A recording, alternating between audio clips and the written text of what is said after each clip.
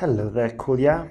Okay, so thank you for your kind words um, and good luck in your exam next week. So let's jump into this. It is often argued that marketing at the cross border by gigantic firms at the cross border. No.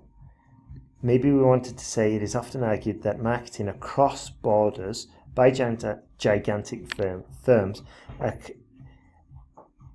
is because it's it consistency is considered as attacking a country because they suppress the native businesses, while others are of the opinion that it is that this is essential to bring about the information along with novel ideas, information, novel ideas, foreign, foreign language and lifestyle at a very economical cost and eventually boosting the local economy. Good. Very good. This, analyze, this essay will analyse both issues and demonstrate that the latter point is rather beneficial to the countries in question. Not bad. This last sentence needs to be reworked because it's not unique to this topic.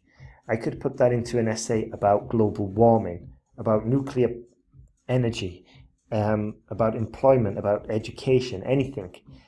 What you need to do is make these sentences unique. Okay? So it'd say this essay will analyze both issues using examples from Cambridge University and the IMF to demonstrate points and prove examples. You see? Um, and that way it helps you with your cohesion and coherence and also avoids using these empty sentences. Now, there's lots of little tips like that in the online course.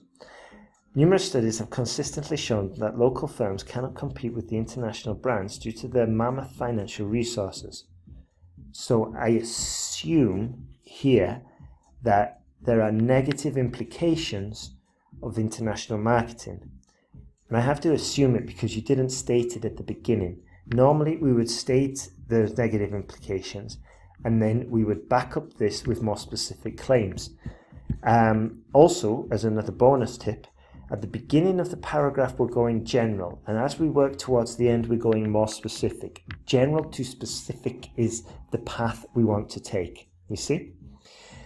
They utilize every single channel to market their products to the swath of to the population. We don't need swath, and thus suppress the local products demand.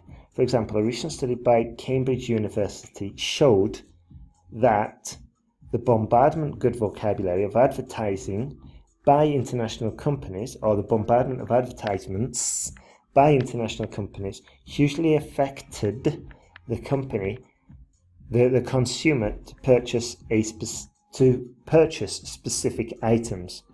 Okay, singular plural agreement is in, it's important. It would be such a shame that if you lost points over little mistakes like this. So here's another tip. Um, when you finish writing your essay in the exam, look for singular plural agreement, okay? And also, if you've got time, look for article mistakes as well. Also here we had um, singular plural. So when you're reviewing your work, look for these little mistakes. However, okay, so this thing, the problem with this paragraph is it's too thin. There's not, it's not really big enough. We need to fatten it up by using those topic sentences at the beginning, using more details, and possibly even adding a summary at the end. However, it should not be forgotten, good, that the world leading enterprises substantially invest in a country to boost their sale. Good. To yield better returns from the market, these firms invest a huge sum of capital to promote their products, and this investment begets new jobs and services in the country, and thus aids, no, and thus boosts the economy of that country. Take, for instance, a recent study by IMF by the IMF that, uh, that, that exhibited that international trade has soared substantially in the middle income countries and helping them to support their economy. It is therefore clear that, da da da da da, and that's your summary sentence.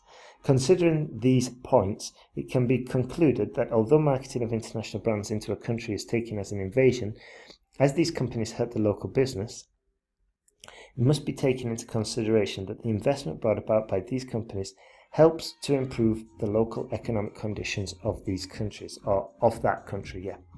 So, good work there. Cool. Um, a few points. Be careful because we've made quite a lot of generalizations, and these need to be avoided, and we avoid them by hedging. And this is a strategy taught in the advanced uh, part of the online course, which I think you'd benefit from. Also, um, be careful because in some cases, in some sentences, um, we've kind of mixed. Where is it? Let's see. Yeah, you're slightly off topic here.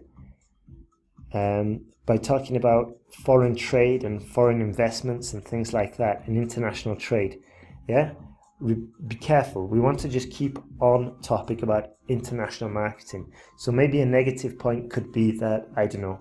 Um, kids in Scotland now speak with an American accent or something like that, you know, which is clearly the effect of international marketing. Or, I don't know, um, teenagers in Japan now dye their hair blonde. And this is largely due to Western advertisements promoting European lifestyles, blah, blah, blah. Okay, so just bear that in mind. Now, what I would recommend is that um, you review the points that I mentioned in this essay correction and